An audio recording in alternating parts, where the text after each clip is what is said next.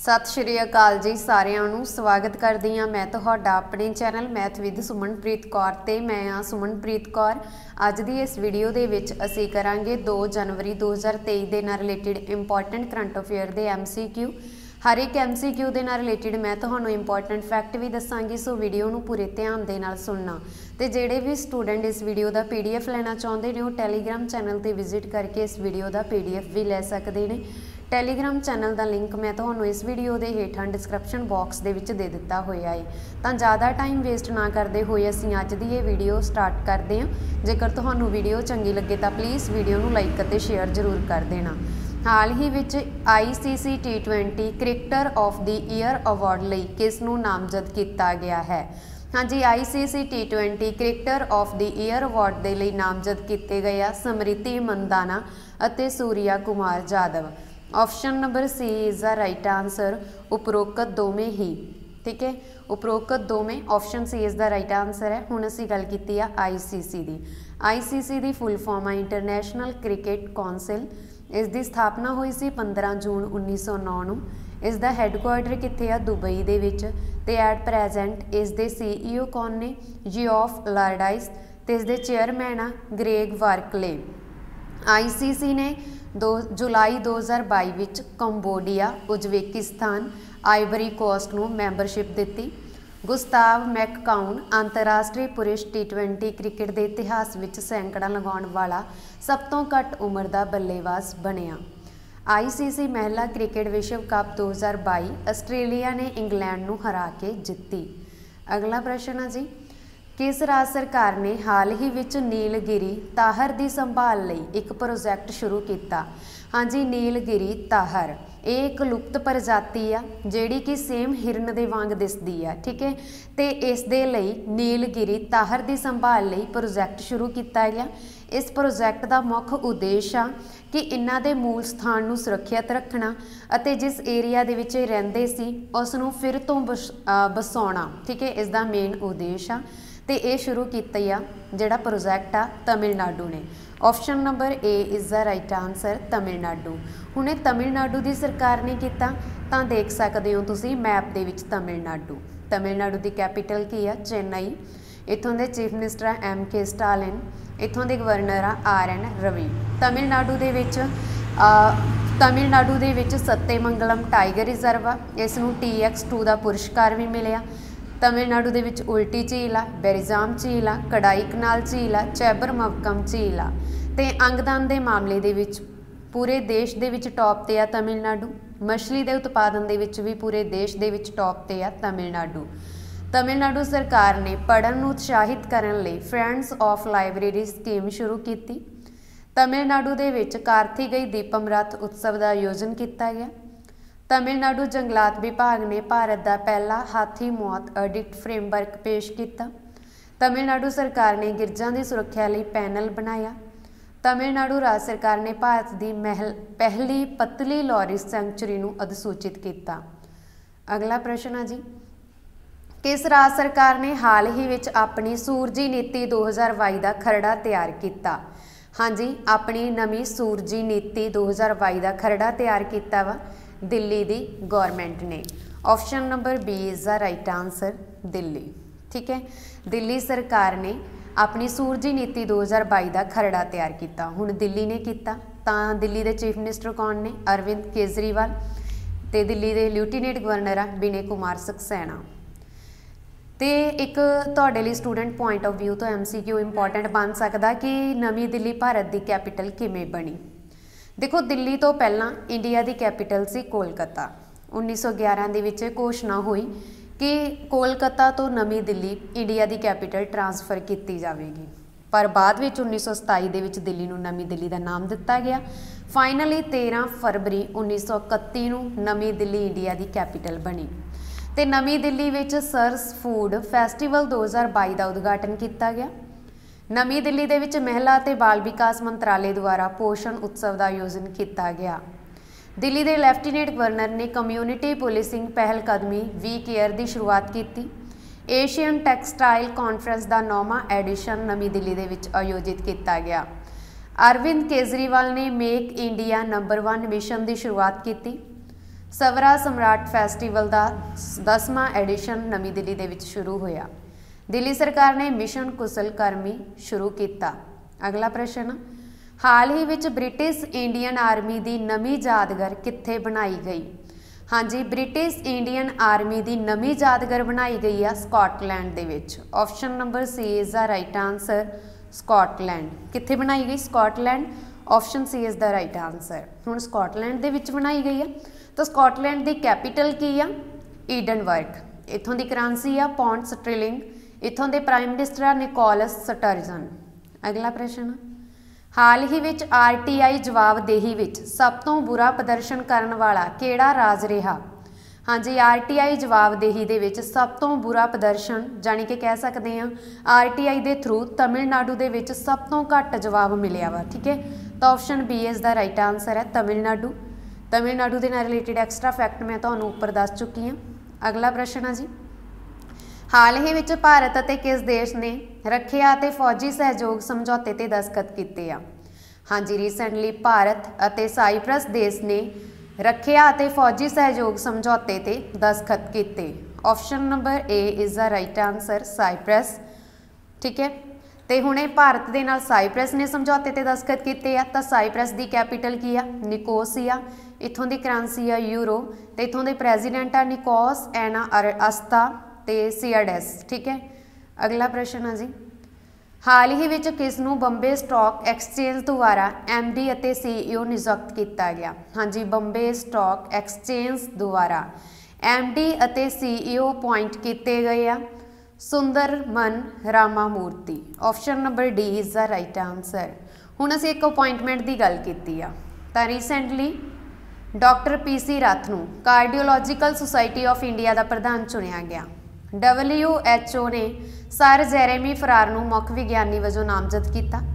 ਤਾਸੀ ਰਾਬਸਤਾਨ ਨੂੰ ਜੰਮੂ ਅਤੇ Kashmir high court ਦੇ ਕਾਰਜਕਾਰੀ ਚੀਫ ਜਸਟਿਸ ਵਜੋਂ ਅਪਾਇੰਟ ਕੀਤਾ ਗਿਆ। ਮੇਗਨਾ ਅਹਲਾਬਤ TTFI ਦੀ ਪਹਿਲੀ ਮਹਿਲਾ ਪ੍ਰਧਾਨ ਚੁਣੀ ਗਈ। ਸਾਜੀ ਕੇਵੀ ਨੂੰ ਨਵਾਰਡ ਦਾ ਨਵਾਂ ਚੇਅਰਮੈਨ ਅਪਾਇੰਟ ਕੀਤਾ ਗਿਆ। ਅਗਲਾ ਪ੍ਰਸ਼ਨ ਹੈ ਜੀ। ਕਿਸ ਨੇ ਹਾਲ ਹੀ ਵਿੱਚ ਕਰਨਾਟਕ ਦੇ ਮਾਂਡਿਆ ਵਿੱਚ ਮੈਗਾ ਡੈਰੀ ਦਾ ਉਦਘਾਟਨ ਕੀਤਾ?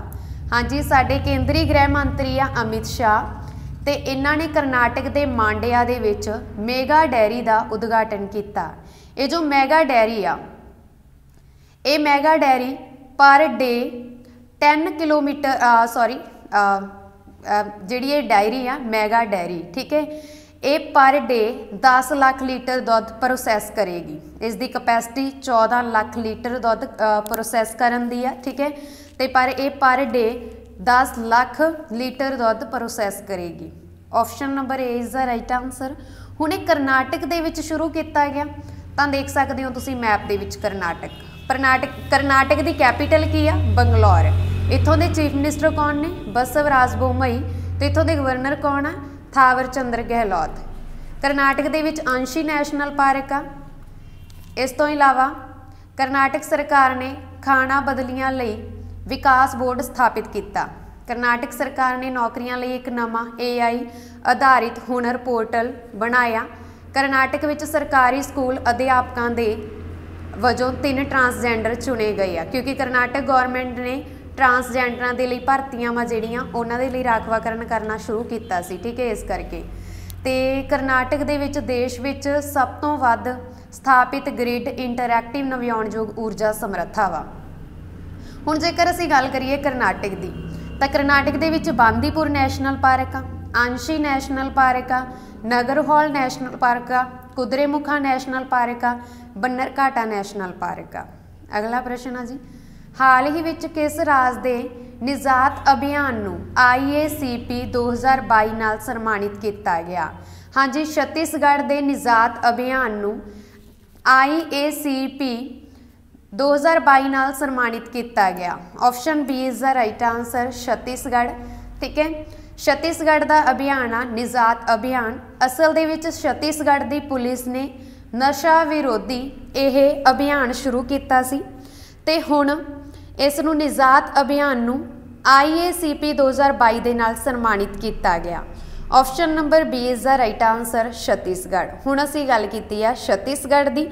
ਤਾਂ ਛੱਤੀਸਗੜ੍ਹ ਦੇਖ ਸਕਦੇ ਹੋ ਤੁਸੀਂ ਮੈਪ ਦੇ ਵਿੱਚ। ਛੱਤੀਸਗੜ੍ਹ ਦੀ ਕੈਪੀਟਲ ਕੀ ਹੈ ਰਾਏਪੁਰ। ਇੱਕ ਹੋਰ ਨਵਾਂ ਸ਼ਹਿਰ ਸੀ ਰਾਏਪੁਰ। ਉਸ ਦਾ ਨਾਮ ਬਦਲ ਕੇ ਅਟਲ ਨਗਰ ਕਰ ਦਿੱਤਾ ਗਿਆ। ਛੱਤੀਸਗੜ੍ਹ ਦੇ ਚੀਫ ਮਿਨਿਸਟਰ ਕੌਣ ਨੇ? ਭੂਪੇਸ਼ ਬਘੇਲ। ਇਥੋਂ ਦੇ ਗਵਰਨਰ ਆ ਅਨਸੂਈਆ ਓਇਕੇ। ਛੱਤੀਸਗੜ੍ਹ ਦੇ ਵਿੱਚ ਅਚਾਨਕ ਮਾਰ ਵਾਈਲਡ ਲਾਈਫ ਸੈਂਚੁਰੀ ਆ, ਬਾਦਲਖੋਰ ਵਾਈਲਡ ਲਾਈਫ ਸੈਂਚੁਰੀ ਆ ਬਰਨਾਮਾ ਪਾਰਾ ਵਾਈਲਡ ਲਾਈਫ ਸੈਂਚੁਰੀ ਆ ਇਸ ਤੋਂ ਇਲਾਵਾ ਛੱਤੀਸਗੜ੍ਹ ਦੀ ਸਰਕਾਰ ਨੇ ਟਾਟਾ ਟੈਕਨੋਲੋਜੀਜ਼ ਨਾਲ ਸਮਝੌਤਾ ਕੀਤਾ। ਛੱਤੀਸਗੜ੍ਹ ਸਰਕਾਰ ਅਨੁਸੂਚਿਤ ਖੇਤਰਾਂ ਵਿੱਚ ਪੰਚਾਇਤੀ ਅਧਿਕਾਰਾਂ ਦੇ ਵਿਸਥਾਰ ਨੂੰ ਲਾਗੂ ਕਰੇਗੀ। ਛੱਤੀਸਗੜ੍ਹ ਸੀਆਰ ਸੀਐਫਆਰ ਅਧਿਕਾਰਾਂ ਨੂੰ ਮਾਨਤਾ ਦੇਣ ਵਾਲਾ ਦੂਜਾ ਰਾਜ ਬਣਿਆ। ਛੱਤੀਸਗੜ੍ਹ ਦੇ ਮੁੱਖ ਮੰਤਰੀ ਨੇ ਮੁੱਖ ਮੰਤਰੀ ਮਿਤਨ ਯੋਜਨਾ ਦੀ ਸ਼ੁਰੂਆਤ ਕੀਤੀ। ਛੱਤੀਸਗੜ੍ਹ ਸਰਕਾਰ ਵੱਲੋਂ ਕੁਸ਼ਲਿਆ ਮਾਤ੍ਰਿਤਵਾ ਯੋਜਨਾ ਸ਼ੁਰੂ ਕੀਤੀ ਗਈ। ਅਗਲਾ ਪ੍ਰਸ਼ਨ ਹਾਲ ਹੀ ਵਿੱਚ ਉੱਤਰ ਪ੍ਰਦੇਸ਼ ਦੀ ਪਹਿਲੀ ਮਹਿਲਾ ਪੁਲਿਸ ਕਮਿਸ਼ਨਰ ਕੌਣ ਬਣੀ ਹੈ? ਹਾਂਜੀ, ਉੱਤਰ ਪ੍ਰਦੇਸ਼ ਦੀ ਪਹਿਲੀ ਮਹਿਲਾ ਪੁਲਿਸ ਕਮਿਸ਼ਨਰ ਬਣੀ ਆ Lakshmi Singh. Option number C is the right answer Lakshmi Singh. IPS officer ਆ ਲక్ష్ਮੀ ਸਿੰਘ। ਤੇ ਹੁਣੇ ਨੋਇਡਾ ਦੀ ਪੁਲਿਸ ਕਮਿਸ਼ਨਰ ਬਣੀ ਆ, ਠੀਕ ਹੈ? ਇਹ ਵੀ ਤੁਸੀਂ ਯਾਦ ਰੱਖਣਾ। ਹੁਣ ਇਹ ਉੱਤਰ ਪ੍ਰਦੇਸ਼ ਦੀ ਬਣੀ ਆ। ਤਾਂ ਉੱਤਰ ਪ੍ਰਦੇਸ਼ ਦੀ ਕੈਪੀਟਲ ਕੀ ਆ? ਪਹਿਲਾਂ ਤੁਸੀਂ ਮੈਪ ਦੇ ਵਿੱਚ ਦੇਖੋ ਉੱਤਰ ਪ੍ਰਦੇਸ਼, ਕਿ ਉੱਤਰ ਪ੍ਰਦੇਸ਼ ਦੀ ਕੀ ਲੋਕੇਸ਼ਨ ਆ, ਠੀਕ ਹੈ? ਉੱਤਰ ਪ੍ਰਦੇਸ਼ ਦੀ ਕੈਪੀਟਲ ਕੀ ਆ? ਲਖਨਊ। ਲਖਨਊ ਕਿਹੜੀ ਨਦੀ ਦੇ ਕਿਨਾਰੇ ਸਥਿਤ ਆ? ਗੋਮਤੀ ਨਦੀ ਦੇ ਕਿਨਾਰੇ ਸਥਿਤ ਆ। ਇਥੋਂ ਦੇ ਚੀਫ ਮਿਨਿਸਟਰ ਯੋਗੀ ਆਦਿੱਤਿਆਨਾਥ, ਇਥੋਂ ਦੇ ਗਵਰਨਰ ਆ ਆਨੰਦੀਵੈਨ ਪਟੇਲ। ਤੇ ਇਸ ਤੋਂ ਇਲਾਵਾ ਜੇਕਰ ਅਸੀਂ ਗੱਲ ਕਰੀਏ ਉੱਤਰ ਪ੍ਰਦੇਸ਼ ਦੇ ਰਾਸ਼ਟਰੀ ਪਸ਼ੂ ਦੀ, ਤਾਂ ਉੱਤਰ ਪ੍ਰਦੇਸ਼ ਦਾ ਰਾਸ਼ਟਰੀ ਪਸ਼ੂ ਆ ਬਾਰਾਸਿੰਗਾ ਉੱਤਰ ਪ੍ਰਦੇਸ਼ ਦੇ ਵਿੱਚ ਦੁਧਵਾ ਨੈਸ਼ਨਲ ਪਾਰਕ ਆ। ਇਹ ਚੀਤਿਆਂ ਲਈ ਫੇਮਸ ਆ। ਉੱਤਰ ਪ੍ਰਦੇਸ਼ ਦੇ ਵਿੱਚ Katarnia Ghat wild life sanctuary ਆ ਪੀਲੀਭੀਤ ਟਾਈਗਰ ਰਿਜ਼ਰਵ ਆ। ਭਾਰਤ ਦੇ ਵਿੱਚ ਸਭ ਤੋਂ ਵੱਧ ਬਸੋਂ ਵਾਲਾ ਰਾਜ ਆ ਉੱਤਰ ਪ੍ਰਦੇਸ਼। ਖੰਡ ਦੇ ਸਭ ਤੋਂ ਵੱਧ ਕਾਰਖਾਨੇ ਆ ਉੱਤਰ ਪ੍ਰਦੇਸ਼ ਦੇ ਵਿੱਚ। ਤੇ ਉੱਤਰ ਪ੍ਰਦੇਸ਼ ਸਰਕਾਰ ਨੇ ਰਮਾਇਣ ਅਤੇ ਮਹਾਭਾਰਤ ਸਰਕਟ ਬਣਾਉਣ ਦਾ ਫੈਸਲਾ ਕੀਤਾ। ਉੱਤਰ ਪ੍ਰਦੇਸ਼ 2023 ਖੇਡੋ ਇੰਡੀਆ ਯੂਨੀਵਰਸਿਟੀ ਖੇਡਾਂ ਦੀ ਮੇਜ਼ਬਾਨੀ ਕਰੇਗਾ। ਉੱਤਰ ਪ੍ਰਦੇਸ਼ ਸਰਕਾਰ ਨੇ 2041 ਤੱਕ ਮਥੁਰਾ ਬ੍ਰਿੰਦਾਵਨ ਨੂੰ ਕਾਰਬਨ ਕਾਰਬਨ ਨਿਰਪੱਖ ਸੈਰ ਸਪਾਟਾ ਸਥਾਨ ਬਣਾਉਣ ਦਾ ਐਲਾਨ ਕੀਤਾ। ਗ੍ਰੇਟਰ ਨੋਇਡਾ ਦੇ ਵਿੱਚ ਉੱਤਰ ਪ੍ਰਦੇਸ਼ ਨੇ ਪਹਿਲੇ ਡਾਟਾ ਸੈਂਟਰ ਦਾ ਉਦਘਾਟਨ ਕੀਤਾ। ਉੱਤਰ ਪ੍ਰਦੇਸ਼ ਵਿੱਚ ਸਥਿਤ ਰਾਣੀਪੁਰ ਦੇਸ਼ ਦਾ 53ਵਾਂ ਟਾਈਗਰ ਰਿਜ਼ਰਵ ਬਣਿਆ ਤੇ ਉੱਤਰ ਪ੍ਰਦੇਸ਼ ਦੀ ਗਵਰਨਮੈਂਟ ਨੇ ਉੱਤਰ ਪ੍ਰਦੇਸ਼ ਦੇ ਵਿੱਚ ਤਰਾਈ ਹਾਥੀ ਰਿਜ਼ਰਵ ਨੂੰ ਮਨਜ਼ੂਰੀ ਦਿੱਤੀ। ਅਗਲਾ ਪ੍ਰਸ਼ਨ ਹਾਲ ਹੀ ਵਿੱਚ ਏਸ਼ੀਅਨ ਡਿਵੈਲਪਮੈਂਟ ਬੈਂਕ ਨੇ ਸ਼੍ਰੀ ਰਾਮ ਫਾਈਨਾਂਸ ਨੂੰ ਕਿੰਨੇ ਮਿਲੀਅਨ ਡਾਲਰ ਦਾ ਕਰਜ਼ਾ ਦਿੱਤਾ? ਹਾਂਜੀ, ਏਸ਼ੀਅਨ ਡਿਵੈਲਪਮੈਂਟ ਬੈਂਕ ਨੇ ਸ਼੍ਰੀ ਰਾਮ ਫਾਈਨਾਂਸ ਨੂੰ 100 ਮਿਲੀਅਨ ਡਾਲਰ ਦਾ ਕਰਜ਼ਾ ਦਿੱਤਾ। Option number B is the right answer 2 million ਨੂੰ ਫਾਈਨੈਂਸ ਕਰਨ ਦੇ ਲਈ ਸ਼੍ਰੀ ਰਾਮ ਫਾਈਨਾਂਸ ਨੂੰ ਏਡੀਵੀ ਨੇ 100 ਮਿਲੀਅਨ ਡਾਲਰ ਦਾ ਕਰਜ਼ਾ ਦਿੱਤਾ। ਹੁਣ ਏਡੀਬੀ ਨੇ ਦਿੱਤਾ ਯਾਨੀ ਕਿ ਏਸ਼ੀਅਨ ਡਿਵੈਲਪਮੈਂਟ ਬੈਂਕ ਨੇ ਦਿੱਤਾ। ਇਸ ਦੀ ਸਥਾਪਨਾ ਕਦੋਂ ਹੋਈ ਸੀ? 1966 ਦੇ ਵਿੱਚ। ਇਸ ਦਾ ਹੈੱਡਕੁਆਰਟਰ ਕਿੱਥੇ ਆ? ਮਨੀਲਾ ਦੇ ਵਿੱਚ। ਮਨੀਲਾ ਕਿੱਥੇ ਆ? ਫਿਲੀਪੀਨਸ ਦੇ ਵਿੱਚ। ਤੇ ਐਟ ਪ੍ਰੈਜ਼ੈਂਟ ਇਸ ਦੇ ਪ੍ਰੈਜ਼ੀਡੈਂਟ ਕੌਣ ਨੇ? ਮਤਸਕਾ ਸੁਕੂ ਅਤਸਵਾ। ਅਗਲਾ ਪ੍ਰਸ਼ਨ ਕਿਸ ਰਾਜ ਸਰਕਾਰ ਨੇ ਹਾਲ ਹੀ ਵਿੱਚ ਐਨ ਚੰਦਰ ਸੇਖਰਨ ਨੂੰ ਆਰਥਿਕ ਸਲਾਹਕਾਰ ਕੌਂਸਲ ਦਾ ਮੁਖੀ ਨਿਯੁਕਤ ਕੀਤਾ? ਹਾਂਜੀ ਰੀਸੈਂਟਲੀ ਐਨ ਚੰਦਰਨ ਸੇਖਰਨ ਨੂੰ ਆਰਥਿਕ ਸਲਾਹਕਾਰ ਨਿਯੁਕਤ ਕੀਤਾ। ਕਿੰਨਾ ਨੇ ਨਿਯੁਕਤ ਕੀਤਾ? ਮਹਾਰਾਸ਼ਟਰ ਦੀ ਗਵਰਨਮੈਂਟ ਨੇ। Option number B is the right answer ਹੁਣ ਮਹਾਰਾਸ਼ਟਰ ਦੀ ਗਵਰਨਮੈਂਟ ਨੇ ਕੀਤਾ, ਤਾਂ ਦੇਖ ਸਕਦੇ ਹੋ ਤੁਸੀਂ ਮੈਪ ਦੇ ਵਿੱਚ ਮਹਾਰਾਸ਼ਟਰ। ਮਹਾਰਾਸ਼ਟਰ ਦੀ ਕੈਪੀਟਲ ਆ ਮੁੰਬਈ। ਇਥੋਂ ਦੇ ਚੀਫ ਮਿਨਿਸਟਰ ਆ ਏਕਨਾਥ ਸ਼ਿੰਦੇ। ਇਥੋਂ ਦੇ ਗਵਰਨਰ ਆ ਭਗਤ ਸਿੰਘ ਕੋਸ਼ਿਆਰੇ। ਮਹਾਰਾਸ਼ਟਰ ਦੇ ਵਿੱਚ ਸੰਜੇ ਗਾਂਧੀ ਨੈਸ਼ਨਲ ਪਾਰਕ ਆ ਗੁਗੂਮਲ ਨੈਸ਼ਨਲ ਪਾਰਕ ਆ ਨਵੇਂ ਗਾਉਂ ਨੈਸ਼ਨਲ ਪਾਰਕ ਆ ਠੀਕ ਹੈ? ਤੇ ਮਹਾਰਾਸ਼ਟਰ ਦੀ ਜੇਕਰ ਅਸੀਂ ਗੱਲ ਕਰੀਏ, ਇਸ ਦੇ ਵਿੱਚ ਲੋਨਾਰ ਝੀਲ ਆ, ਉਜ਼ਾਨੀ ਡੈਮ ਆ, ਜੈਕ ਜੈਕਵਾੜੀ ਡੈਮ ਆ, ਠੀਕ ਹੈ? ਕੋਇਨਾ ਡੈਮ ਆ। ਤੇ ਇਸ ਤੋਂ ਇਲਾਵਾ ਮਹਾਰਾਸ਼ਟਰ ਦੀ ਹਿਸਟਰੀ ਦੇ ਬੇਸਡ ਇੱਕ ਬੁੱਕ ਲਿਖੀ ਗਈ ਆ, ਜਿਸ ਦਾ ਨਾਮ ਆ the Shivaji in South written sorry ਜਿਸ ਬੁੱਕ ਦਾ ਨਾਮ ਆ ਦਾ ਸੌਰੀ ਇਹ ਬੁੱਕ ਦਾ ਨਾਮ ਆ, Shivaji in South Block the unwritten history of proud people ਇਹ ਨਾਮ ਹੈ ਇਸ ਬੁੱਕ ਦਾ, ਠੀਕ ਹੈ? ਤੇ ਬੁੱਕ ਗਿਰੀ ਸਕੁਏਰ ਨੇ ਲਿਖੀ ਹੈ ਮਹਾਰਾਸ਼ਟਰ ਦੀ ਹਿਸਟਰੀ ਦੇ ਬੇਸਡ ਤੇ ਮਹਾਰਾਸ਼ਟਰ ਸਰਕਾਰ ਨੇ ਸੁਤੰਤਰਤਾ ਸੈਨਾਨੀਆਂ ਦੀ ਪੈਨਸ਼ਨ ਦੁੱਗਣੀ ਕਰਨ ਦਾ ਫੈਸਲਾ ਕੀਤਾ। ਮਹਾਰਾਸ਼ਟਰ ਕਰੋਨਾ ਤੋਂ ਬਾਅਦ ਨਵੀਆਂ ਕੰਪਨੀਆਂ ਖੋਲਣ ਦੇ ਵਿੱਚ ਟੌਪ ਤੇ ਰਿਹਾ। ਰੰਜਨਗਾਂਵ ਮਹਾਰਾਸ਼ਟਰ ਵਿੱਚ ਇਲੈਕਟ੍ਰੋਨਿਕਸ ਨਿਰਮਾਣ ਕਲਸਟਰ ਵਿਕਸਿਤ ਕੀਤਾ ਗਿਆ। ਮਹਾਰਾਸ਼ਟਰ ਸਰਕਾਰ ਸਾਈਬਰ ਇੰਟੈਲੀਜੈਂਸ ਯੂਨਿਟ ਦੀ ਸਥਾਪਨਾ ਕਰੇਗਾ। ਮਹਾਰਾਸ਼ਟਰ ਦੇ ਉਪ ਮੁੱਖ ਮੰਤਰੀ ਨੇ ਬੰਦੇ ਮਾਤਰਮ ਪਹਿਲਕਦਮੀ ਦੀ ਸ਼ੁਰੂਆਤ ਕੀਤੀ। ਅਗਲਾ ਪ੍ਰਸ਼ਨ ਆ ਜੀ। ਕਿਸ ਨੇ ਹਾਲ ਹੀ ਵਿੱਚ MOIL ਦੇ ਚੇਅਰਮੈਨ ਕਮ ਮੈਨੇਜਿੰਗ ਡਾਇਰੈਕਟਰ ਵਜੋਂ ਆਉਂਦਾ ਸੰਭਾਲਿਆ? ਹਾਂਜੀ MOIL ਦੇ ਚੇਅਰਮੈਨ ਕਮ ਮੈਨੇਜਿੰਗ ਡਾਇਰੈਕਟਰ ਦਾ ਆਉਂਦਾ ਸੰਭਾਲਿਆ ਕਿੰਨਾ ਨੇ ਸੰਭਾਲਿਆ ਹੈ ਅਜੀਤ ਸਕਸੈਨਾ ਨੇ।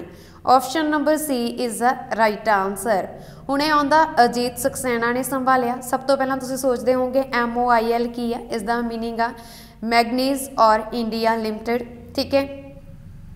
ਤੇ ਰੀਸੈਂਟਲੀ ਅਸੀਂ ਫਿਰ ਅਪਾਇੰਟਮੈਂਟ ਦੀ ਗੱਲ ਕੀਤੀ ਆ। ਤਾਂ ਲੋਕ ਸਿੰਘ ਨੂੰ 에ਅਰ ਇੰਡੀਆ ਦੇ ਘੱਟ ਕੀਮਤ ਵਾਲੇ 에ਅਰਲਾਈਨ ਕਾਰੋਬਾਰ ਦਾ ਮੁਖੀ ਨਿਯੁਕਤ ਕੀਤਾ ਗਿਆ। ਦਿਨੇਸ਼ ਕੁਮਾਰ ਸ਼ੁਕਲਾ ਨੂੰ ਪਰਮਾਣੂ ਊਰਜਾ ਰੈਗੂਲੇਟਰੀ ਬੋਰਡ ਦਾ ਚੇਅਰਮੈਨ ਨਿਯੁਕਤ ਕੀਤਾ ਗਿਆ। ਪੀਟੀ ਊਸ਼ਾ ਨੂੰ ਸੰਸਦ ਦੇ ਉੱਪਰਲੇ ਸਦਨ ਵਿੱਚ ਡਿਪਟੀ ਸਪੀਕਰ ਦੇ ਪੈਨਲ ਦੇ ਵਿੱਚ ਨਾਮਜ਼ਦ ਕੀਤਾ ਗਿਆ। ਹਾਂਜੀ, ਇਸ ਦੇ ਨਾਲ ਸਾਡੀ ਅੱਜ ਦੀ ਇਹ ਵੀਡੀਓ ਖਤਮ ਹੁੰਦੀ ਆ ਤੇ ਵੀਡੀਓ ਤੁਹਾਨੂੰ ਕਿਸ ਤਰ੍ਹਾਂ ਦੀ ਲੱਗੀ ਕਿਰਪਾ ਕਰਕੇ ਕਮੈਂਟ ਬਾਕਸ ਦੇ ਵਿੱਚ ਜਰੂਰ ਦੱਸ ਦੇਣਾ। ਜੇਕਰ ਵੀਡੀਓ ਚੰਗੀ ਲੱਗੀ ਹੋਵੇ ਤਾਂ ਪਲੀਜ਼ ਵੀਡੀਓ ਨੂੰ ਵੱਧ ਤੋਂ ਵੱਧ ਸ਼ੇਅਰ ਜ਼ਰੂਰ ਕਰ ਦੇਣਾ। ਇਸ ਤੋਂ ਇਲਾਵਾ ਜਿਹੜੇ ਸਟੂਡੈਂਟ ਇਸ ਚੈਨਲ ਤੇ ਪਹਿਲੀ ਵਾਰ ਵਿਜ਼ਿਟ ਕਰ ਰਹੇ ਨੇ, ਮੈਂ ਉਹਨਾਂ ਨੂੰ ਵੀ ਰਿਕੁਐਸਟ ਕਰਦੀ ਆ ਕਿ ਜਿੰਨਾ ਹੋ ਸਕੇ ਮੇਰੇ ਮੇਰੀ ਵੀਡੀਓ ਨੂੰ ਵੱਧ ਤੋਂ ਵੱਧ ਸ਼ੇਅਰ ਕੀਤਾ ਜਾਵੇ।